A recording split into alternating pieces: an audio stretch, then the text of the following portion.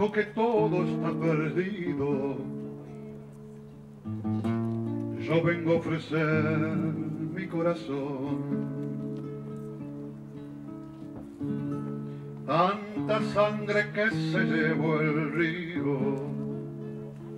Yo vengo a ofrecer mi corazón. No será tan fácil como pensaba, no será tan simple. Como pensaba, como abrir el pecho y sacar el alma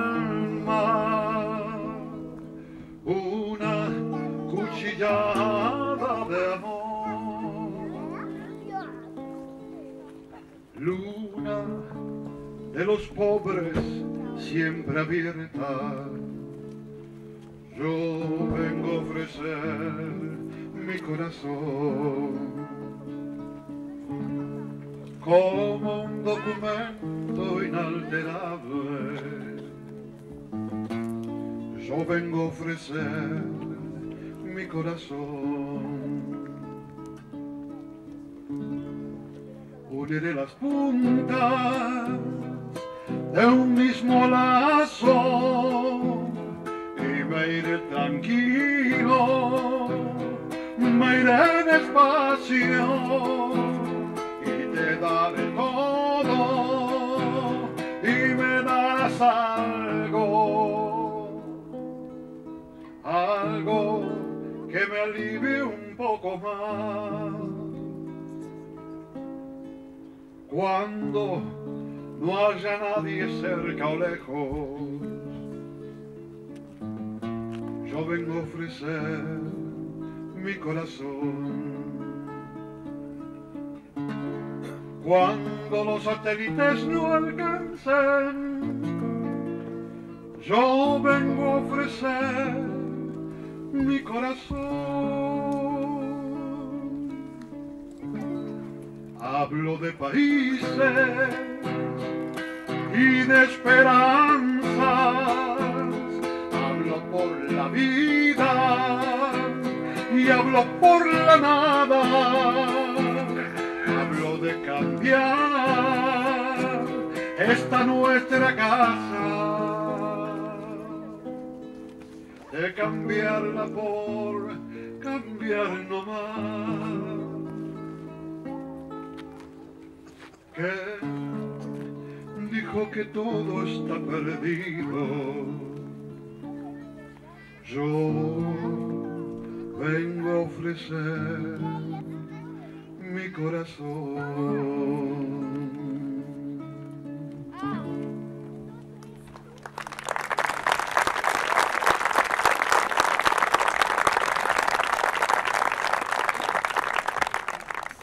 Nos reúne esta mañana la simple voluntad de plantar 10 hermosos árboles autóctonos en esta terraza fecunda de Jacosfer. Este acto simple de armonía y relación con la naturaleza es sin embargo de profundo contenido humano.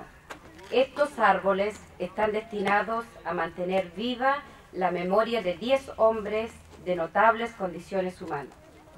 Esta porción de tierra en Suecia recogerá así también parte de la historia del pueblo chileno, de sus luchas, de sus dolores y de sus memorias. Con la plantación de estos árboles hemos dado un paso más a la materialización del proyecto de derechos humanos Ecomemoria, pero debemos seguir trabajando para lograr la meta final, y esta consiste en lograr la creación de un bosque de árboles autóctonos en Chile, que recoja los nombres de todas y cada una de las víctimas de la dictadura militar en un solo lugar. A nombre de Taller Ranquil, muchas gracias. Vi vill också tacka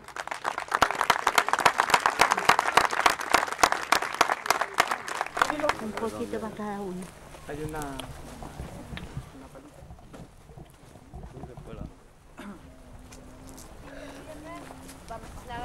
Permiso.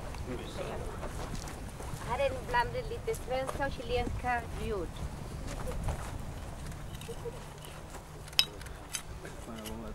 Ya, otra, otra, uno solo tiene. Ah, de veras que era uno solo. Es la- el símbolo. Pase otra persona. Cecilia. Pero no tenemos más. Bueno, echémosle la ¿Qué quiere? Cecilia, échale un poquito de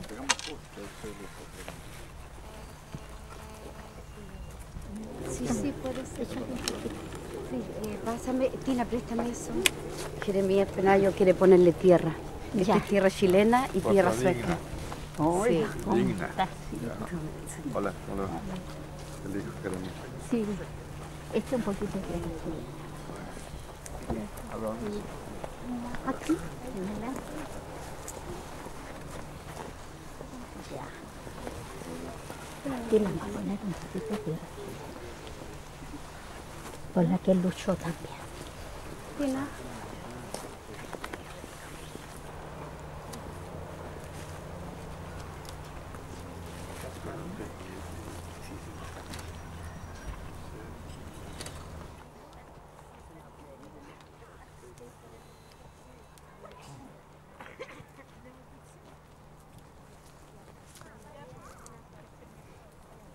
Testimonio enviado por la madre de Rodrigo Rojas de Negri.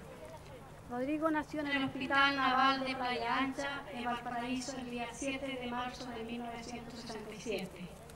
Desde pequeño fue muy especial y sensible y como a todos nuestros niños le afectó muchísimo el golpe de Estado.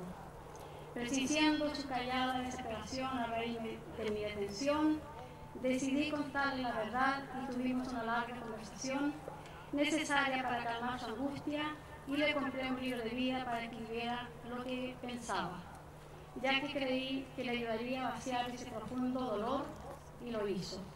Y lo que escribió allí me hizo sentirme muy orgullosa de mi niño de apenas seis años y medio, que ya tuviera clara la situación. Por ejemplo, en una nota que escribió el 12 de octubre de 1973 escribe, yo he querido irme a la derecha política, pero no he podido salir a la izquierda política, porque no soporto ver sufrir a la gente y no entiendo la razón de por qué nos persiguen. Y yo he pensado en comprar un lugar y hacer una ciudad donde la gente sea feliz. Desgraciadamente, no solo los militares ejercieron el odio acostumbrado contra Rodrigo, también lo hicieron en la posta, donde no solo le colapsaron un pulmón, sino que también le negaron las transfusiones de sangre y los análisis de laboratorio. Pero afortunadamente Chile solidarizó con él y miles de personas donaron su sangre para poder tratarlo, así como los estudiantes de medicina de la Chile se encargaron de llevar los análisis al laboratorio para que se le pudieran realizar los nuevos tratamientos. Otro de los crímenes que se cometió contra él fue no dejarme traerlo a Estados Unidos o trasladarlo a otro hospital, donde tuviera lo necesario para salvarle la vida. Él muere cuatro días después, el 6 de julio a las 3.52 pasado meridiano.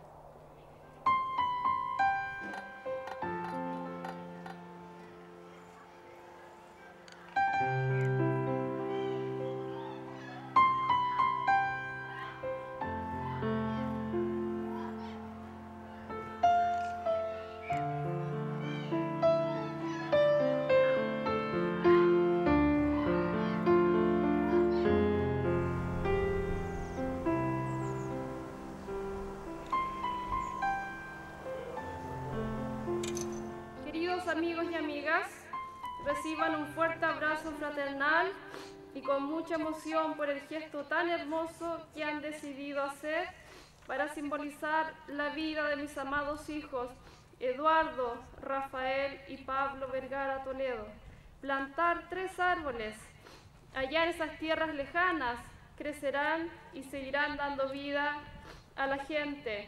Soy Luisa Toledo, la madre, y quisiera en esta ocasión tan especial compartir con ustedes un testimonio muy personal que ha pasado conmigo en estos duros años después del asesinato de mis hijos a manos de la dictadura del maldito innombrable criminal y ladrón que ustedes conocen. Un día, 7 de septiembre del año 1963, parí a mi primer hijo, mi primogénito amado Pablo Orlando. Para mí fue como pasar de niña joven a mujer, Todo mi cuerpo cambió, se transformó en un cuerpo dador de vida. Mis senos se llenaron de leche, mis manos torpes se suavizaron para el cuidado amoroso de este ser hermoso.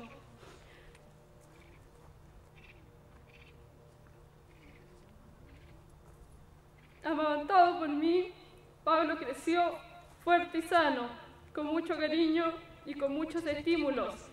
Era un niño tranquilo, regalón y un poquito llorón. Pronto a los dos años, en el año 1965, entra en su vida su hermano Eduardo y desde entonces fue siempre su mejor amigo. En el año 67 nace su hermano Rafael y en el 68 Ana Luisa, su hermanita menor. Éramos toda una familia. Quiero recordarles que ellos son cuatro hermanos, de los cuales mataron a tres, solo queda Ana María, el papá y la mamá. Eduardo, Rafael y Pablo, mis hijos adorados, siempre los llevaré en mi corazón, siempre los amaré y tendrán mi admiración y respeto por su opción de vida, por su lucha junto a su pueblo hasta dar la vida, por su liberación y por su muerte que los hace entrar en el caudal liberador de la lucha de la humanidad por la reivindicación de un mundo nuevo, fraterno, solidario, justo, donde impere el amor. Luisa Toledo.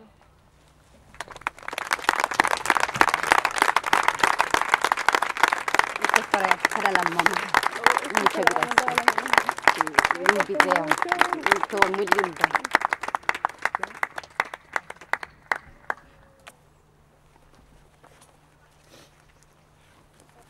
Esto es para la mamá.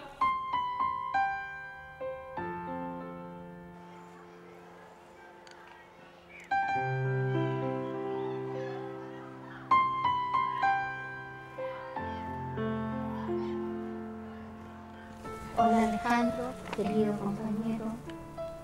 En este día que para nosotros podría ser una pequeña parte como una despedida, ya que no tuvimos la posibilidad de despedirte, es que nos encontramos en este lugar con toda esta gente, con todos los compañeros, para con este árbol poder perpetuar la memoria y la vida tuya. Una democracia justa, no la democracia de siempre, no la democracia entre comillas, una democracia donde todo el pueblo realmente pudiera tener lo que necesita para una vida digna, un trabajo, un hogar, una educación. Para todas esas cosas tú luchabas. Cuando llegaste a nuestra casa, a nuestras vidas, te integraste a ella de inmediato, como un miembro más de la familia, como que siempre nos hubiéramos conocido. Y empezamos y seguimos trabajando con lo que nosotros hacíamos y de ahí para adelante el camino fue más difícil, más largo y más eh, difícil de llevar. Hemos luchado todos estos años por la justicia, por la verdad en Chile, no solamente para ti, sino que para todos los compañeros, para los miles de compañeros, para muchos que ni siquiera, muchas personas no han podido llegar hasta la justicia. Y nosotros en ese camino estamos. Esperemos que lo logremos. Es difícil confiar también en la justicia en Chile, con la democracia que tenemos, con el gobierno que tenemos, con la ley de la dictadura, pero hay que tener confianza y seguir luchando.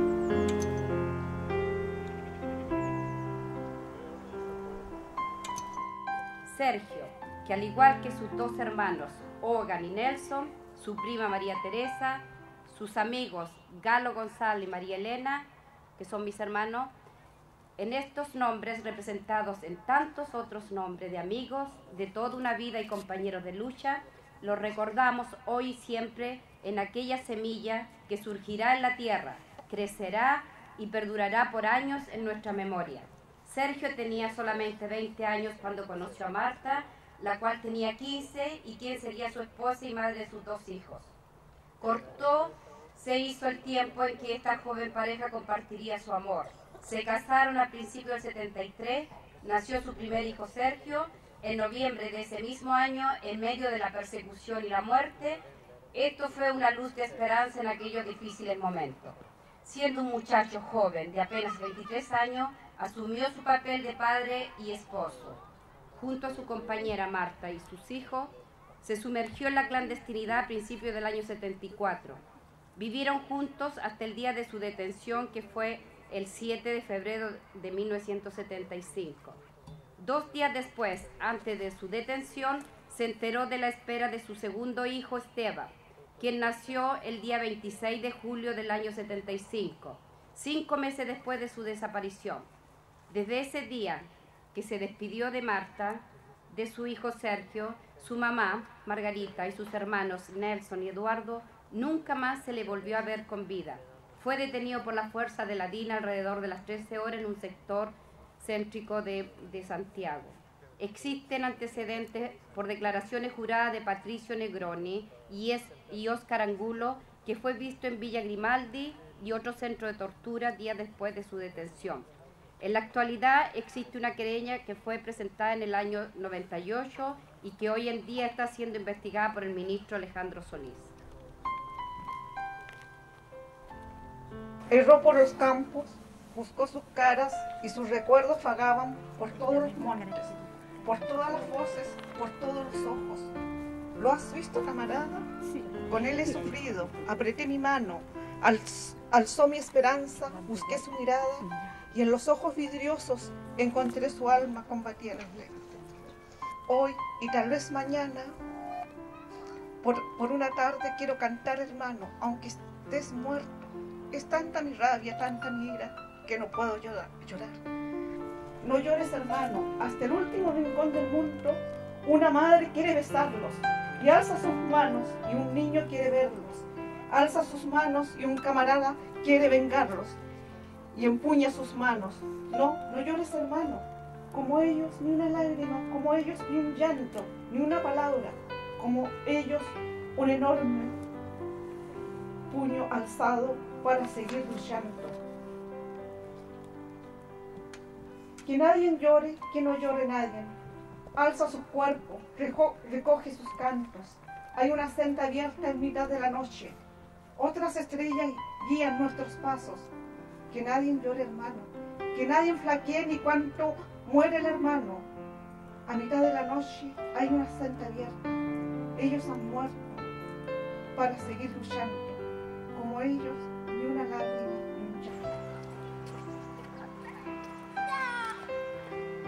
Compañeros desaparecidos y ejecutados. Presente. Ahora y siempre.